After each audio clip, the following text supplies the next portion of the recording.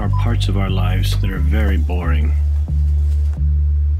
The banality may come from a repetition, a lack of interest, or maybe doing a task for which you feel overqualified. This is a story about the mundane parts and finding beauty there.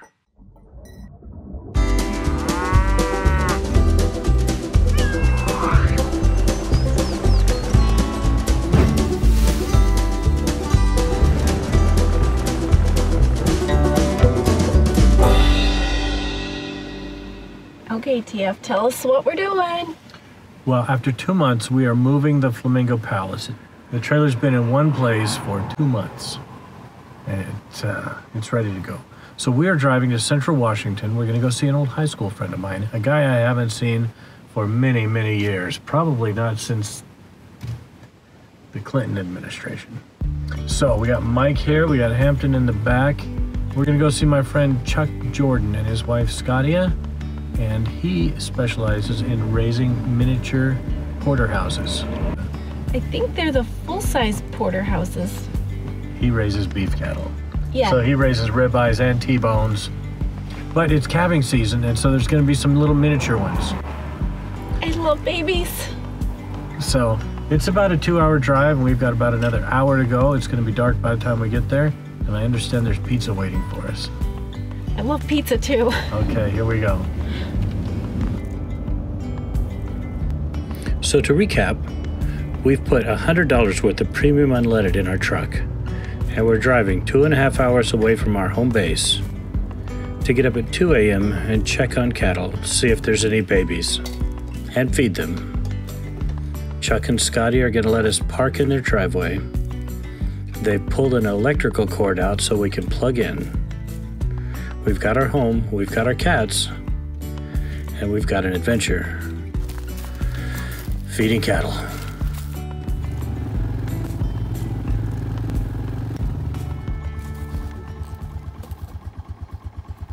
We're here with my friend Chuck Jordan. Good morning. Chuck's gonna take us out and show us his herd and see if there's any little baby cows laying on the ground. Sounds Is like that, a is that what you do? That's what I do. Okay, so he gets up at 2 a.m. this time of year, Yep. looks for cattle. And who's this? This is Arthur. He's the official cow dog. All right, Arthur looks like he's excited.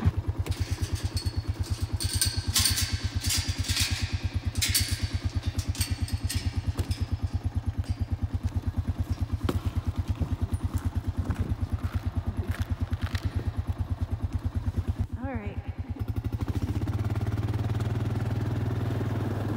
We're bouncing along on the four wheeler tonight, and it's a little uncomfortable. In fact, it's so cold my face actually hurts. We can hear the coyotes howling in the distance, and it makes me a little nervous. It's really an amazing opportunity to be out here in nature, to see the beautiful stars in the sky, and spend time with our friend.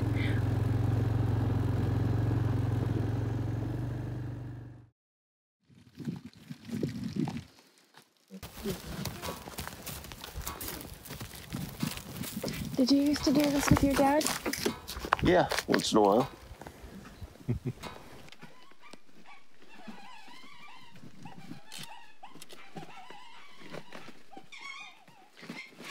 They must be used to this. Yeah, they're very used to me being out here.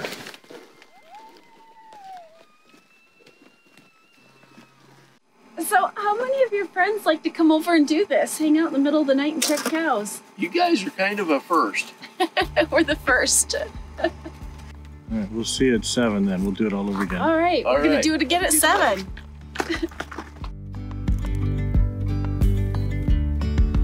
Yesterday there was sun and there was rain. Beauty in the mundane. So much nicer with temperatures like this. Yeah. Startled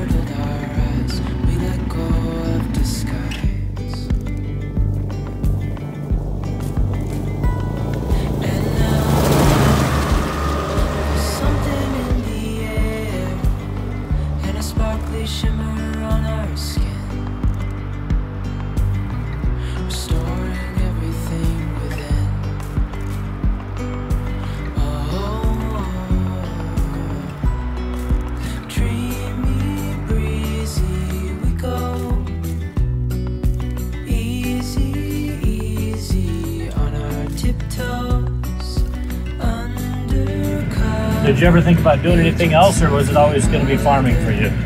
You know, I think it was always intended I was going to farm. I mean, that's what I I started this when I was a little kid, and never really wanted to do anything else. Hand hand, building castles out of sand, reaching for the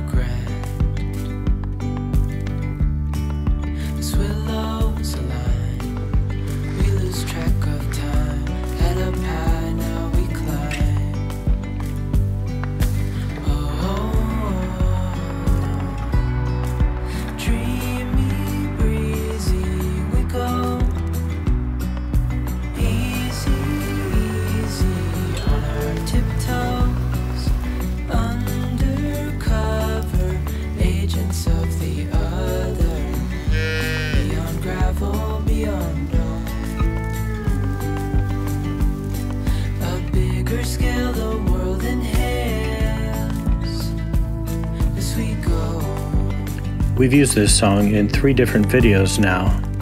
It's called Beauty in the Mundane by Bird of Figment. There will always be tasks that are boring and times that are mundane. Someday we'll all look back, and there will be nostalgia for the people and circumstances that are gone. The challenge is to find the nostalgia now. It's hard sometimes, but we're getting better at changing our perspective to see things in new and interesting ways. My friend Chuck relishes the variety that comes to him on his farm in the changing of the seasons and the life cycles of the cattle and the crops. Chuck also has a YouTube channel. You can check it out. It's called Life Behind a Cow. There's a link to his channel in the description below. Thank you for watching this episode of Trish and TF. Plane and simple.